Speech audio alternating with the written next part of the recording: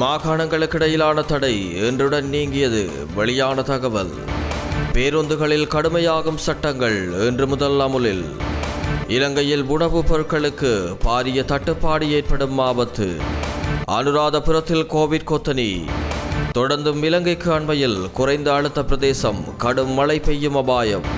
சீன தூதரகத்தின் அதிரடி நடவடிக்கை எதுவும் தெரியாதென கைவிரித்தார் பசில் ராஜபக்ச. ஆசண்டை நான்கு வாரங்களுக்கு பின்னர் தெரியவரும். மக்களுக்கு விடுக்கப்பட்ட கடும் எச்சரிக்கை.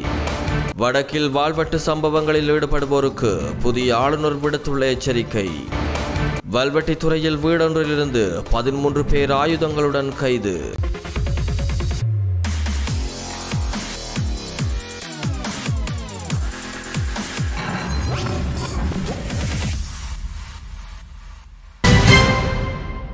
நாட்டில் தற்போது நடைமுறையில் இருந்த மாகாணங்களுக்கிடையிலான பயண கட்டுப்பாடுகள் இன்று அதிகாலை நான்கு மணிக்கு நீக்கப்பட்டது.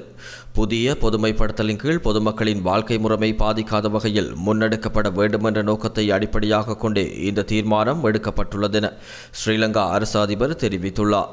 மேலும் கோவிட் நைன்டீன் மரணங்களின் வீதம் மற்றும் தொற்றுக்குள்ளாகும் நோயாளிகளின் எண்ணிக்கையை குறைத்துக் கொள்ள தடுப்பூசி ஏற்றல் வேலை திட்டத்தை மேலும் விரிவுபடுத்த வேண்டியதன் அவசியம் தொடர்பிலும் அரசு அதிபர் எடுத்துரைத்துள்ளார்.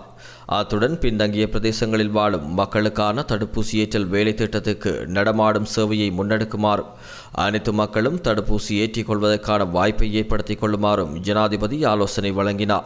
இதேவேளை இன்றைய தினம் முதல் மாகாணங்களுக்கிடையிலான பொது போக்குவரத்து வழமை போன்று ஆரம்பிக்கப்படும் என போக்குவரத்து ராஜாங்க அமைச்சர் திலும் அமனுகம தெரிவித்துள்ளார் இலங்கையில் மாகாணங்களுக்கிடையிலான பயண கட்டுப்பாடுகள் இன்று அதிகாலை முதல் நீக்கப்பட்டுள்ளதாக அறிவிக்கப்பட்டுள்ளது. அதற்கமைய நாளை முதல் பயணிகளின் ஆசனங்களின் எண்ணிக்கைக்கேற்ப மாத்திரமே பயணிகளை பேருந்தில் அழைத்துச் செல்ல முடியும் என ராஜாங்க அமைச்சர் திலும் மமனுகம தெரிவித்துள்ளார். ரயிலில் பயணிகளை அழைத்துச் செல்வது தொடர்பில் எதிர்வரும் நாட்களில் அறிவிப்பு விடுக்கப்படும் என ராஜாங்க அமைச்சர் குறிப்பிட்டுள்ளார்.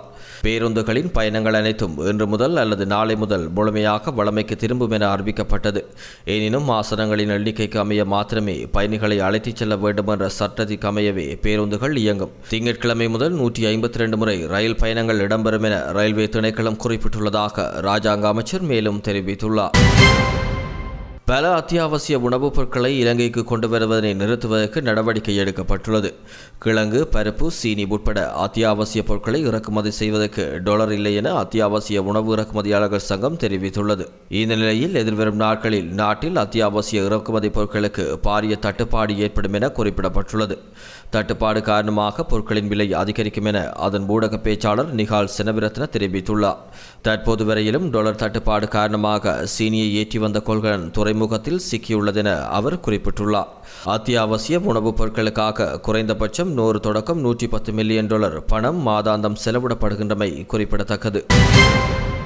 கடந்த வாரத்தில் அனுராதபுரம் மாவட்டத்தினுள் கோவிட் தொற்றாளர்கள் பதிவானது அதிகரித்துள்ளதாக சுகாதார பிரிவினர் குறிப்பிட்டுள்ளனர்.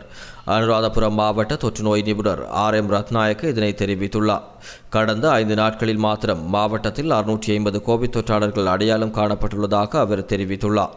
அனுராதபுரம் மாவட்டத்தில் அமைந்துள்ள ஆரம்ப பாடசாலை ஒன்றின் மாணவர்கள் மற்றும் ஆசிரியர் சிலரும் கோவிட் தொற்றுக்கு உள்ளாகியுள்ளதாக அவர் மேலும் தெரிவித்துள்ளார். இதேவேளை கோவிட் தொற்றுக்குள்ளாகி சுமார் மூன்று மாத காலமாக கராபிட்டி போதனா வைத்தியசாலையின் தீவிர சிகிச்சை பிரிவில் சிகிச்சை பெற்று வந்த இந்திருவ சுகாதார வைத்திய அதிகாரி வைத்தியர் பிரசாத் டி சில்வா நேற்று உயிரிழந்துள்ளார். சடலம் இரண்டு மணத்தியாலங்கள் அவரது வீட்டில் வைக்கப்பட்டிருந்த நிலையில் அவரின் குடும்ப உறுப்பினர்கள் மாத்திரமே இறுதிக்கிரியையில் கலந்து கொண்டுள்ளதாக தெரிவிக்கப்படுகின்றது.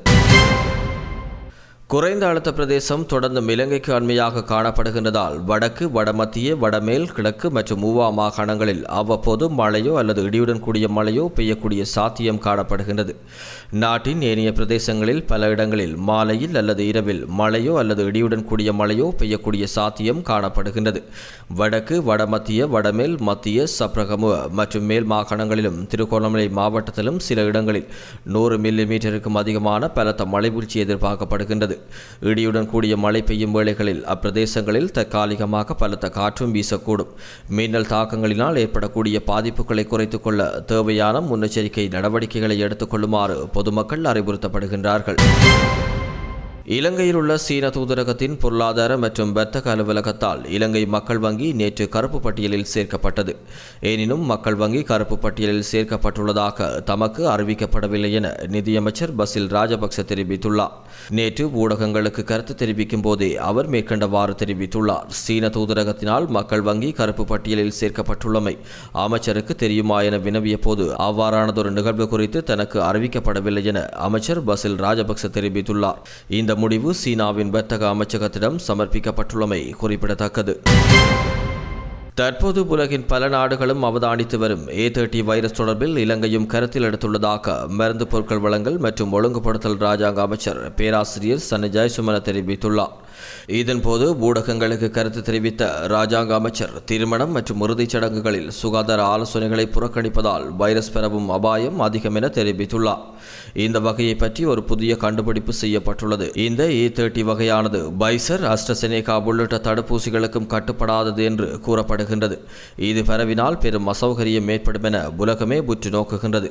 எனினும் இது தொடர்பில் நாமும் அவதானத்திடம் இருக்கின்றோம். கோவிட் முழுமையாக இல்லாதொழிக்கப்பட்டுள்ளது என்று எண்ணி கோவிட்டுக்கு முரணான வாழ்க்கைக்கு செல்வோமாயின் எதிர்வரும் நான்கு வாரங்களின் பின்னர் அதன் பிரதிபலனை எம்மால் அனுபவிக்க நேரிடும் என மேலும் தெரிவித்துள்ளார். எவரும் தமக்கு தேவையான வகையில் தன்னிச்சையாக செயற்பட முடியாது. வடக்கில் வாழ்வெட்டு கலாச்சாரம் நிறுத்தப்பட வேண்டும் என அண்மையில் வடமாகாணத்தின் ஆளுநராக பதவியேற்ற ஜீவன் தியாகராஜா தெரிவித்துள்ளார். வடக்கில் வாழ்வெட்டு கலாச்சாரம் கடந்த பல வருடங்களாக தொடர்கின்றது. மக்களின் இயல்பு வாழ்க்கைக்கு அது பெரும் பிரச்சனையாக அமைந்துள்ளது. போலீசார் மற்றும் இராணுவத்தினர் தலையிட்டும் அதனை முற்றாக தீர்க்க முடியாமல் உள்ளது. மக்கள் பிரதிநிதி என்ற வகையில் அது தொடர்பில் நீங்கள் முன்னெடுக்கவுள்ள நடவடிக்கை என்ன என ஊடகம் ஒன்று எழுப்பிய கேள்விக்கு பதிலளிக்கும் போதே மேற்கண்டவாறு குறிப்பிட்டுள்ளார். மேலும் நாட்டில் ஒரே சட்டமே நடைமுறையில் உள்ளது. மாகாணத்திற்கு மாகாணம் அல்லது நகரத்துக்கு நகரம். அது வேறுபட முடியாது.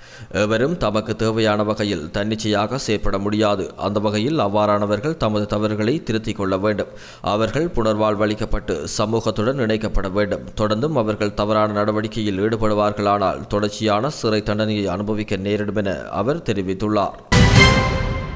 வல்வெட்டித்துறை நெடியக்காடு பகுதி கண்மையில் உள்ள வீடொன்றில் தங்கியிருந்த பதிமூன்று பேர் போலீசாரால் கைது செய்யப்பட்டுள்ளனர்.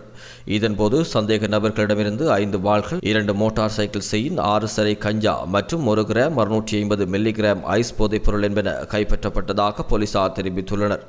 இந்த கைது நடவடிக்கை நேற்று மாலை ஐந்து மணியளவில் இடம்பெற்றுள்ளது. பழைய வீடொன்றில் வன்முறை கும்பல் ஒன்று வன்முறைக்கு தயாராகி வருவதாக போலீசாருக்கு தகவல் கிடைத்துள்ளது. அதன் அடிப்படையில் போலீசாரும் இராணுவத்தினரும் இணைந்து வீட்டை சுற்றி வளைத்து சோதனையிட்ட போது சந்தேக நபர்கள் கைது செய்யப்பட்டனர் என்று தெரிவித்துள்ளனர்.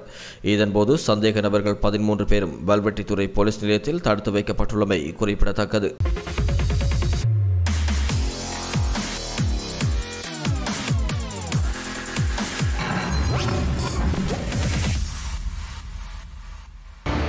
மாகாணங்களுக்கிடையிலான தடை இன்றுடன் நீங்கியது. வெளியான தகவல் பேருந்துகளில் கடுமையாகும் சட்டங்கள் இன்று முதல் அமுலில். இலங்கையில் உணவுப் பொருட்களுக்கு பாரிய தட்டுப்பாடு ஏற்படும் ஆபத்து. அனுராதபுரத்தில் கோவிட் கொத்தனி. தொடர்ந்தும் இலங்கைக்கு அண்மையில் குறைந்த அழுத்த பிரதேசம் கடும் மழை பெய்யும் அபாயம். சீன தூதரகத்தின் அதிரடி நடவடிக்கை எதுவும் தெரியாதென கைவிரித்தார் பசில் ராஜபக்ச.